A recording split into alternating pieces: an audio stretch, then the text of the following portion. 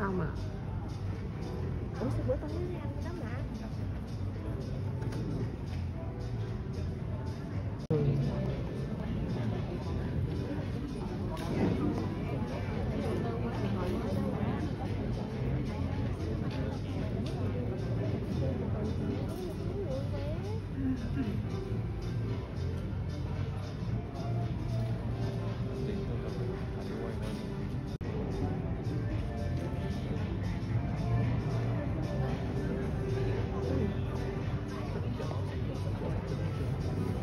can't.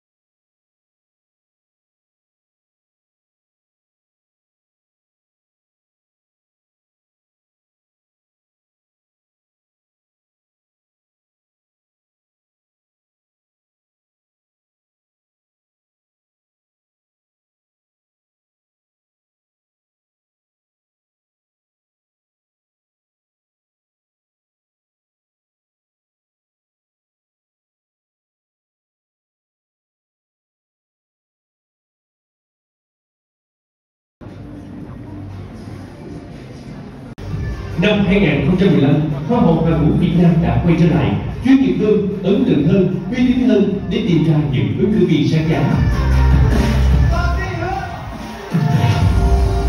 Năm 2017, kỳ tích đã xuất hiện. Lần đầu tiên Việt Nam có tên trong top 5 người đẹp cuối cùng với thời HTA tại Miss Universe 2018. Đây là một khoảnh khắc lịch sử nâng tầm nhan sắc Việt Năm 2019, Hoa hậu và vũ Việt Nam trở lại với dàn thí sinh đông đều và chất lượng hơn đã tạo nên một hiệu ứng và sức chào đón quý vị. Và sau đây xin phép được thay mặt ban tổ chức chương trình ngày hôm nay. Trân trọng gửi đến quý vị một lời chào và một lời cảm ơn. Bởi vì quý vị đã có mặt tại đây trong một sự kiện rất đặc biệt. Chào đón